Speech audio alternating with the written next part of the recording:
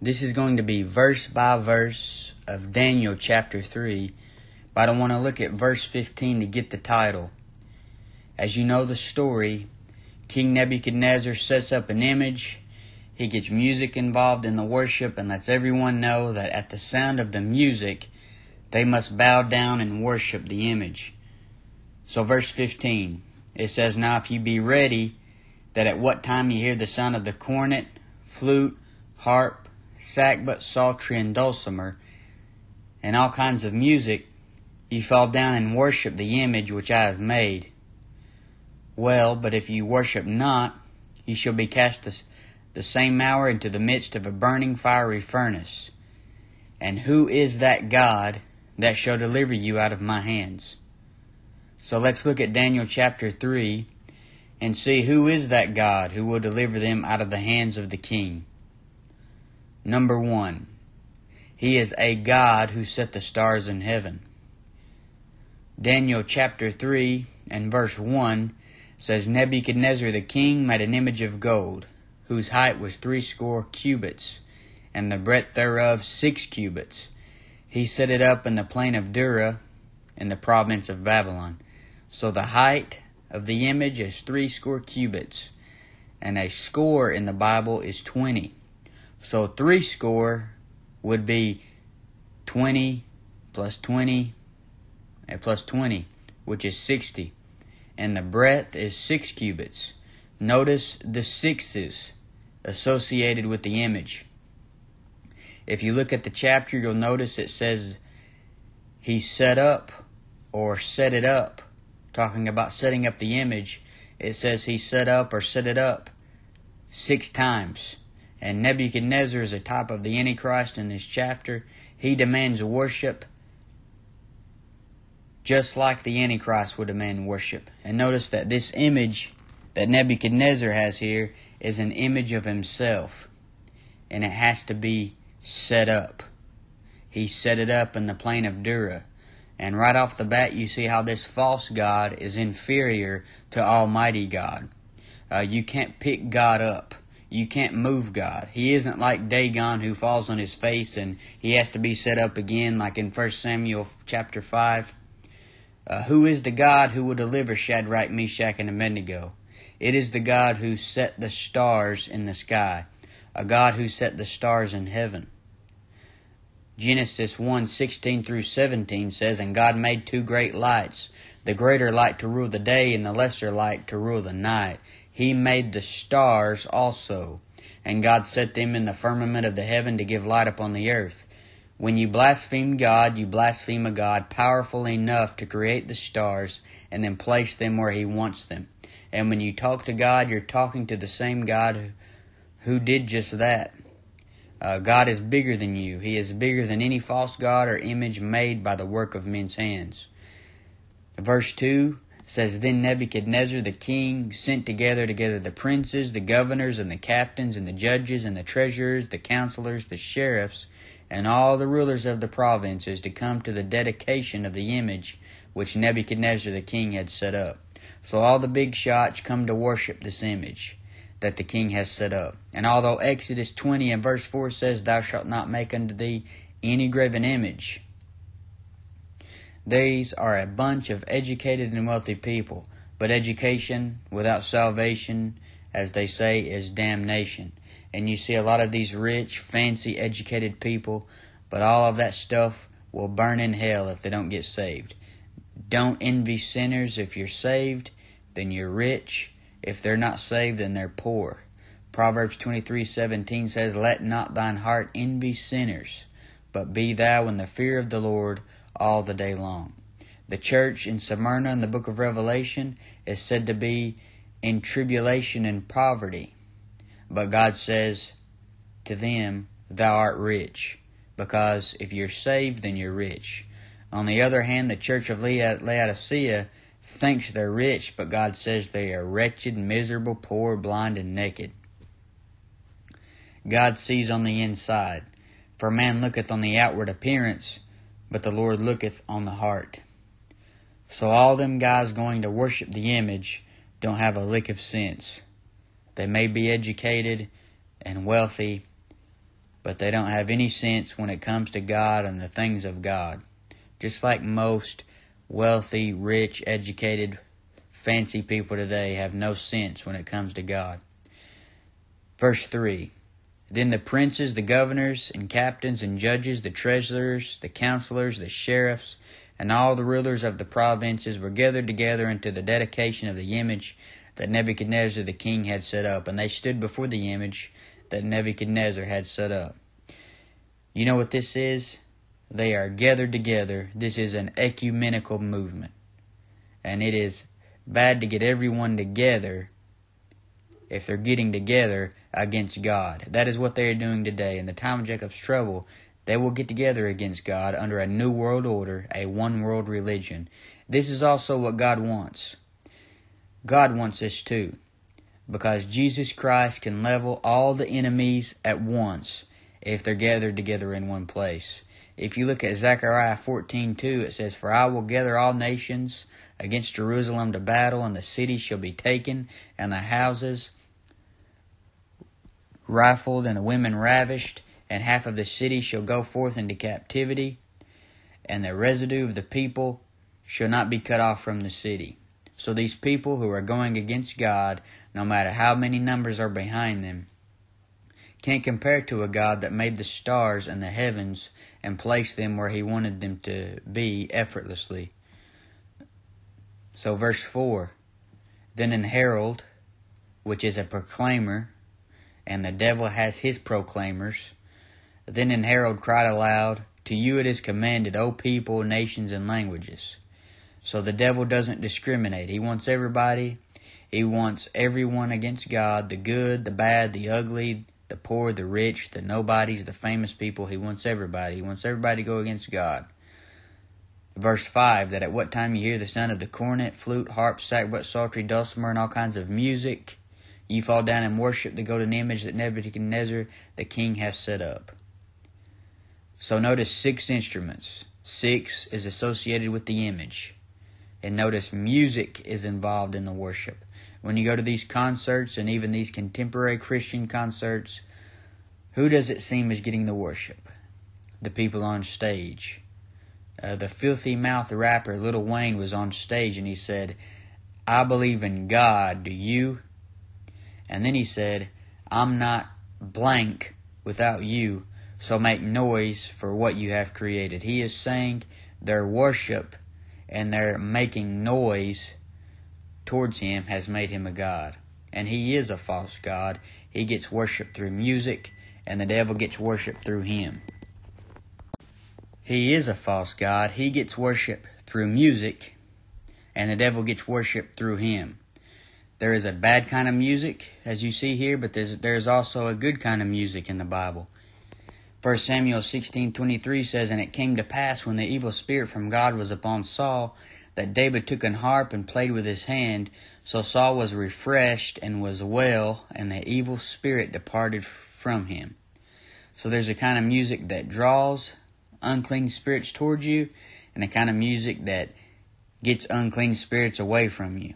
And the God who made the worlds is the God who desires you to use music when you worship him. Colossians 3:16 says, "Let the word of Christ dwell in you richly in all wisdom, teaching and admonishing one another in psalms and hymns and spiritual songs, singing with grace in your hearts to the Lord." So God's purpose for music is for you to worship him with the music. And now verse 6 of Daniel chapter 3 it says, And whoso falleth not down and worshipeth shall the same hour be cast into the midst of a burning fiery furnace. Who else in the Bible told somebody to fall down and worship me? The devil. The devil did when Jesus was tempted by the devil. Here's what Satan said in Matthew 4 9. It says, And saith unto him, All these things will I give thee, if thou wilt fall down and worship me. The people who get put in power are the ones who sell out to the devil the most. Uh, verse 6 And whoso falleth not down and worshipeth shall the same hour be cast into the midst of a burning fiery furnace. So, who is that God who shall deliver Shadrach, Meshach, and Abednego? He is a God who can destroy both soul and body in hell. Matthew 10:28 says, "And fear not them which kill the body, but are not able to kill the soul, but rather fear him which is able to destroy both soul and body in hell." Nebuchadnezzar could get anybody killed anytime he wanted to, but he can do nothing compared to what God can do. Nebuchadnezzar could put the three Hebrew boys in fire and burn their body, but he couldn't take their soul. God can kill you physically and then let your soul burn for eternity. Uh, if you fear anybody at all, fear God. Proverbs 29:25 says, "The fear of man bringeth a snare, but whoso putteth his trust in the Lord shall be safe." All those guys who fear man are bringing a snare on their life. But if you put your trust in the Lord, the one with all power, then you'll be safe. And that sums up the chapter. The three Hebrew boys had their trust in the Lord, and they came out safe. Verse 7 of Daniel chapter 3. Therefore, at that time, when all the people heard the sound of the cornet, flute, harp, sackbut, psaltery, and all kinds of music, all the people, the nations, and the languages fell down and worshipped the golden image that Nebuchadnezzar the king had set up. Wherefore at that time certain Chaldeans came near and accused the Jews. The Chaldeans, those smart guys, the know it alls, who have education without salvation, they accuse the Jews just like the devil. Revelation 12:10 calls him the accuser of the brethren. And here his the children of the devil are accusing people just like he does. Uh, Daniel 9 or Daniel 3 and verse 9 says, They spake and said to the king Nebuchadnezzar, O king, live forever.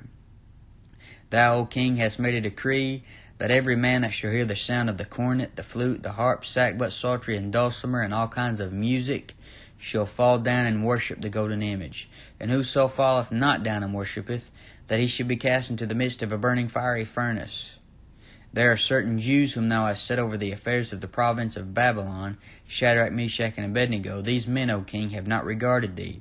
They serve not thy gods, nor worship the golden image which thou hast set up. Notice that phrase.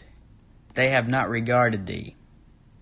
And we don't regard these servants of, of wickedness either. Ephesians 4:27 says neither give place to the devil. They serve not thy gods, nor worship the golden image. Shadrach, Meshach, and Abednego knew who they served and who they feared. They fear him who is able to cast both soul and body in hell, and that's God, the God who made the stars in the sky. Uh, Proverbs 19 says, "The fear of the Lord is the beginning of wisdom." And the knowledge of the holy is understanding. Proverbs 10:27 The fear of the Lord prolongeth days, but the years of the wicked shall be shortened. Uh, if it wasn't for the fear of the Lord, then Shadrach, Meshach, and Abednego would have died way earlier. But they had the fear of the Lord and they didn't die that day. But somebody else died that day, as we're going to see, and that's because the years of the wicked shall be shortened. Uh, Proverbs 14:26 says, "In the fear of the Lord is strong confidence, and his children have a place of refuge." John 1:9 says, "And he said unto them, I am." Jonah 1:9 says, "And he said unto them, I am an Hebrew, and I fear the Lord, the God of heaven, which has made the sea and the dry land." So Jonah says that he feared the Lord.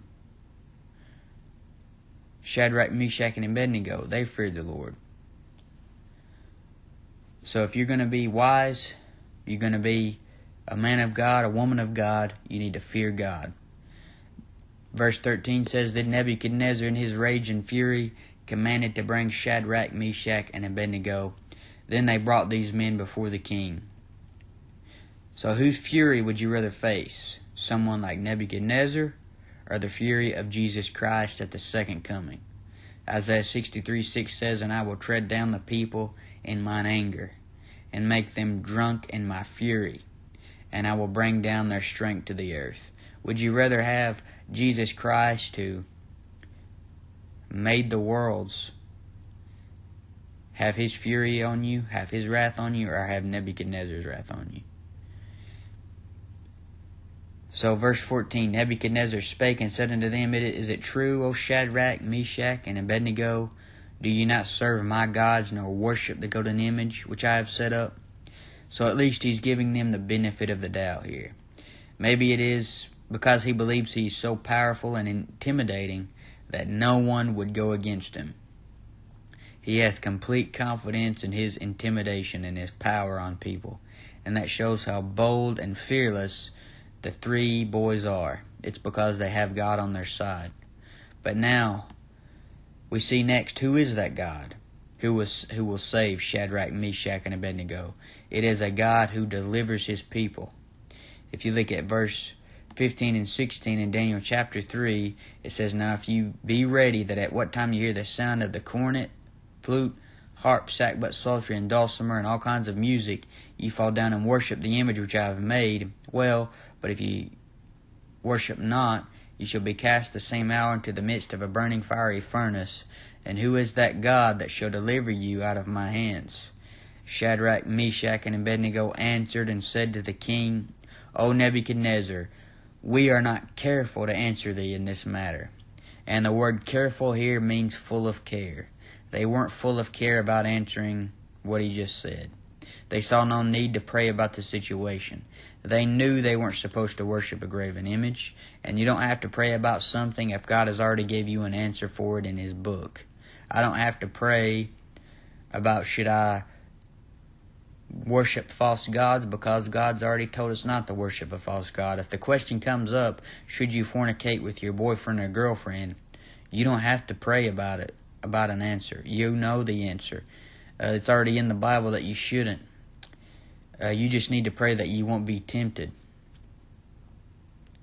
So, Daniel 3, verse 17, it says, And if it be so, our God, whom we serve, is able to deliver us from the burning fiery furnace, and he will deliver us out of thine hand, O king. So they're confident that God's going to, to deliver them because God delivers his people. He delivered Israel out of Pharaoh's hand. He delivered Jonah from the belly of the whale. He delivered you if you're saved. 2 Corinthians 1.10 says, Who hath delivered us from so great a death, and doth deliver, in whom we trust that he will yet deliver us.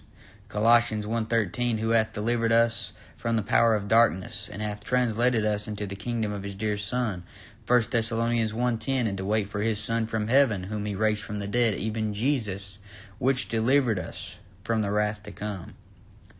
So God delivers his people. Daniel 3:17 And if it be so our God whom we serve is able to deliver us from the burning fiery furnace and he will deliver us out of thine hand O king but if not be it known unto thee O king that we will not serve thy gods nor worship the golden image which thou hast set up. It's like Job said, though he slay me, yet will I trust him. Even if God doesn't work things out in the way you want him to, you got to serve him anyway. And that is the attitude to have. That is the attitude God is looking for. Have confidence that God is going to help you, but if he doesn't, you need to realize you don't de- deserve deliverance anyway. You need to realize that God isn't obligated to help you. You were created for His pleasure, and He doesn't owe you anything. Jesus Christ dying as your payment for sin is something that you could never match, and you'll never be able to do enough to make God owe you anything. Now, verse 19. This was Neb- then was Nebuchadnezzar full of fury, and the form of his visage was changed against Shadrach, Meshach, and Abednego. Therefore he spake and commanded that they should heat the furnace one seven times more than it was wont to be heated. So he is going to heat the furnace seven times more than it was wont to be heated, meaning seven times more than it is usually heated. And verse 20 And he commanded the most mighty men that were in his army to bind Shadrach, Meshach, and Abednego, and to cast them into the burning fiery furnace. Notice he sent his most mighty men. And these three boys must have been pretty stout for him to have to have to do that. Uh, that reminds me of how the devil has mighty men who combine the Christian today. His most mighty men are the ones on the front of magazines, the ones in leadership. It's sad how Christians today let the devil creep in their houses through the devil's mighty men. God has his evangelists and witnesses going out. The devil has his evangelists and witnesses going out. In verse 21, it says, Then these men were bound in their coats, their hosen, which is their like their pants, and their hats, and their other garments, and were cast into the midst of the burning fiery furnace. But next we're going to see who is that God who is going to deliver the three boys. He is a long suffering God. Verse 22 Therefore, because the king's commandment was urgent, and the furnace exceeding hot, the flame of the fire slew those men that took up Shadrach, Meshach, and Abednego. Notice that this is urgent. The king wanted them dead immediately. Did you know that if it, if it was up to the devil, he would just go ahead and kill every one of you? He would have killed Job, but God told him not to. The devil wants you dead. He wants to sift you as wheat. He is a roaring lion walking about seeking whom he may devour. He comes to steal, kill, and to destroy. And it's the hand of God keeping you safe. But God isn't so quick just to just kill you. You have offended him a thousand times, and he hasn't killed you yet, because he is long suffering. Exodus 34 6 calls him merciful and gracious, long suffering, abundant in goodness and truth. God wants you to get saved. He wants you to live right after you're saved, and He'll do things to try and compel you to get right. He won't force you to do anything, but He'll do things to push you towards righteousness. He is long suffering, gracious, and merciful with you. Aren't you glad you serve a God like the God you have? Uh, God is long suffering toward us. We're not willing that any should perish, but that all should come to repentance. Unlike wicked King Nebuchadnezzar, who won't put up with anything, he'll just go ahead and kill someone. Now, verse 22, it says, Therefore, because the king's commandment was urgent, and the furnace exceeding hot, the flame of the fire slew those men that took up Shadrach, Meshach, and Abednego. So Nebuchadnezzar's mighty men weren't so mighty and got consumed by the fire. Yet the one going against Nebuchadnezzar, they didn't get hurt. Sometimes it pays to serve the devil, but it pays a lot better to serve God. And the, the ways of a transgressor is hard. If you keep serving the devil, you're going to wake up one day with nothing. And those mighty men thought they were serving the right guy, so they forced others to serve Nebuchadnezzar and deceived other people for him. But that reminds me today of how Satan's minions are because 2 Timothy 3:13 says but evil men and seducers shall wax worse and worse deceiving and being deceived and while people like Jay-Z and Eminem and Drake and Ariana Belgrande and all these satanic singers and rappers are deceiving the kids the devil is deceiving his satanic henchmen at the same time and while they're deceiving people, the devil is deceiving them. They think they're doing pretty good, but they have a strong delusion. But Daniel 3:23 says, "And these three men, Shadrach, Meshach, and Abednego, fell down bound into the midst of the burning fiery furnace.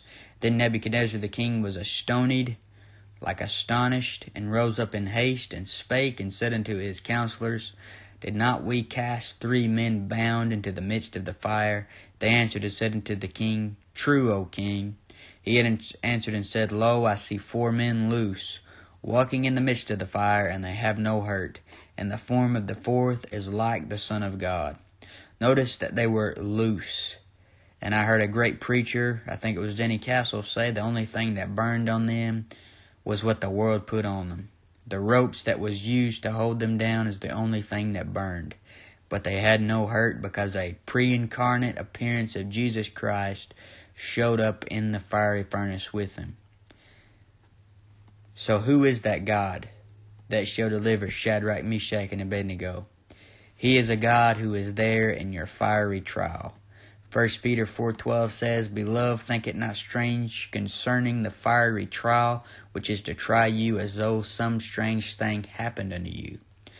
You already know this, but as a Christian, you are going to have fiery trials and it will be God who gets you through the fiery trials. Verse 26 Then Nebuchadnezzar came near to the mouth of the burning fiery furnace, and spake and said, Shadrach, Meshach, and Abednego, ye servants of the Most High God, come forth and come hither. Then Shadrach, Meshach, and Abednego came forth out of the midst of the fire. That's just like the devil. The devil gets you down, has his foot on your neck. He may say, uh, Are you still going to go on with your life after all that's happened to you? But then you come forth out of the midst of the fire. And Proverbs 24:16 says, For a just man falleth seven times and riseth up again, but the wicked shall fall into mischief. So, you can keep getting back up. If you keep failing over and over again, getting knocked down by the same sin, just keep getting back up, keep confessing it, keep getting right and trying to do better. And now, verse 27 says, And the princes, princes, governors, captains, and the king's counselors, being gathered together, saw these men, upon whose bodies the fire had no power, nor was an hair of their heads singed, neither were their coats changed, nor the smell of fire had passed on them.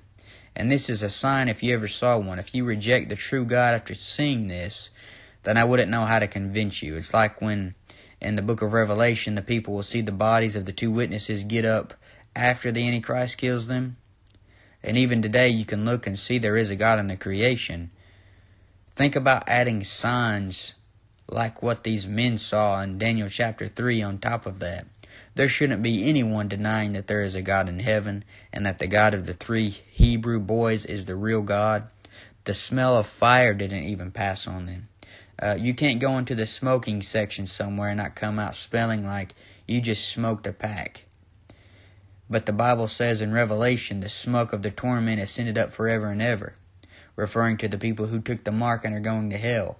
The smoke of hell will never touch a born again believer, just like the smell of fire was never on Shadrach, Meshach, and Abednego. Their hair wasn't singed, and God says the hair of your head are all numbered. He knows if He would have known if they lost any, but He lets us know they didn't lose any. They didn't lose one of their hairs in the fire. Uh, verse 28 says, Then Nebuchadnezzar spake and said, Blessed be the God of Shadrach, Meshach, and Abednego, who hath sent his angel, and delivered his servants that trusted in him, and have changed the king's word, and yielded their bodies that they might not serve nor worship any god except their own God. So Nebuchadnezzar has a complete change of heart after seeing what he just saw. And how could you not? This is a time when God worked by sight. Now he works by faith in this present time we are in. And that is one of the reasons you don't see uh, these kings, these kinds of things as much, is because we live in a time where it's working by faith and not by sight. In the Old Testament, uh, they saw some things. Uh, they say that they, for for up until the flood, they could see the cherubim next to guarding the way of the tree of life. I mean, if you can see a cherubim there and say God isn't real, I mean, you're crazy. So there's signs. And then even in the book of Acts, when it going through that transition, they had the tongues speaking and all that stuff. So, and now we're living in a time where it operates by faith and not so much by sight.